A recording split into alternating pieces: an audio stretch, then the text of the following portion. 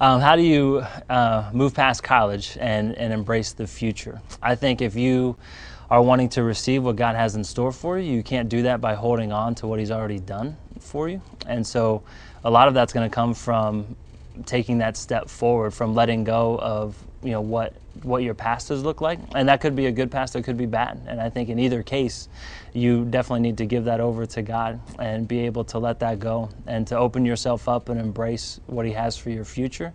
I think God, at least how He works in my life, is He gives me maybe the next step. He doesn't typically give me the next 10 or next 20, even as much as I would love to have that just to begin to prepare. Uh, but I think that just comes also from our faith and being able to take that next step, open that go through that open door. Um, it takes a lot of courage. You know, it takes a lot of um, strength to do so. But to really experience, you know, what, what God has in store for your life, it's going to be crucial. You know, that you are willing to do that, that you're willing to take that step, that you're willing to walk through that door, as uncertain as it may be. Um, be able to have your faith not in what you see, but a faith in what you don't see.